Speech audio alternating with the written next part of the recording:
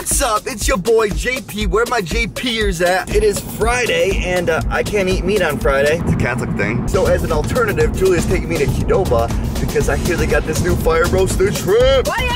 But make sure you smash that like button, hit that notification bell because today's vlog's gonna be lit. Fire! We could be vloggers, right? We'd be recording videos every day.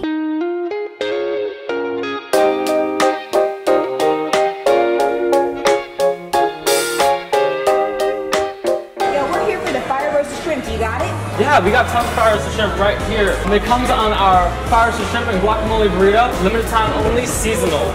Well, you heard them, guys. Shrimp's only here for a limited time. When it goes, no one knows. And nobody knows when it's coming back. So we gotta get shrimp now, come on. What's up guys? We are excited to announce that we are the ambassadors of Qdoba. I'm so happy. We get to eat all of their awesome, craveable food. And we're also gonna be live streaming on Qdoba's Facebook page in the near future. But right now we're here to talk about shrimp. Fire roasted shrimp. So let's pause this video, rewind back to the restaurant. Let's order some food. We're gonna be in annoying order. I'm, I apologize ahead of time. Okay, so we're gonna do the shrimp salad, shrimp burrito, shrimp taco, shrimp soup, shrimp nachos. Oh, you see how gorgeous that looks? So many bold citrusy and chili flavors. Yum. You don't ever wanna mess with the chef. They know what they're talking about. Okay, I got enough. Do you want me to take a picture of you with it too? No. Okay. I'm hungry. Okay.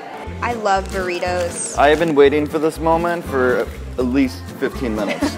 Qdoba for breakfast, smart. The shrimp, I love it. It's super citrusy, but it's got like a chili flavor to it. Nachos. Mm. I love lettuce. Shrimp soup. Now I've done seen everything. And I really like the shrimp in the soup. It's got layers. It's like an onion or an ogre.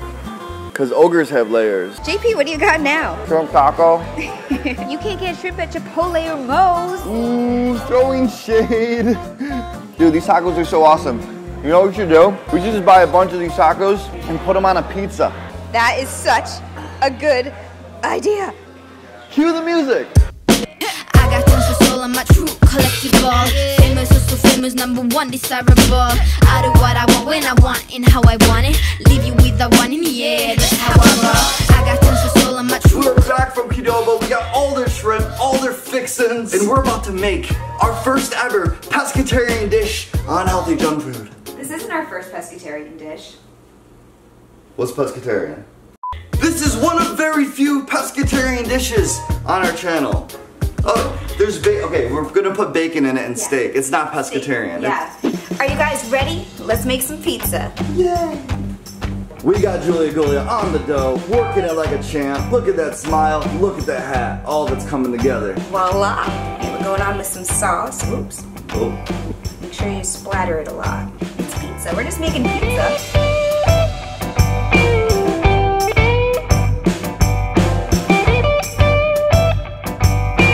For the first quadrant of our pizza, we are going to be using fire roasted shrimp, fajita veggies, and cotija cheese. A beautiful blend, amazing balance, a beautiful taco. For our second quadrant, we're gonna go crunchy and soft. Spread a layer of queso on the soft tortilla and then apply the hard shell. I would have done this to all of them, but Julia threatened our relationship. Are you gonna put them in the hard shells with some queso? Not these ones. You're my better friend than JP. JP's not my good friend. For this taco, we're going to go steak, shrimp, tomatoes, chimichurri, and more tomatoes. We shall call this the Do What Julia Says taco. Marvelous. Just so you guys know, this is a two-man operation. I have an itch on my nose. I have an itch over. Yeah, that's good. All right. Thank you. For our third quadrant, we're going shrimp, bacon, corn, beans, more bacon, and cheese. You're kind of doing it a little bit different each time with these ones, but they look the same on top. And for our final quadrant, we're going crunchy and soft again. It appears that Julia has established a faster process, which is crucial because we are running out of time. You only have five minutes, Julia, until this camera will stop automatically. You better hurry up. For this taco, we're going steak, bacon, and pico de gallo. Three minutes remaining. Oh no! But we're not done yet. The center of our pizza will house a generous portion of hand smashed guacamole, and we can finish this off with a sour cream drizzle. In three, two, one, and time. Good job. Yeah. And we're done. There you go. Wow, that looks like a carousel of tacos. I am so happy that this exists. I can't wait to see how functional this is. You guys can use any type of tacos on top of your pizza. You can eat your pizza taco any way you like.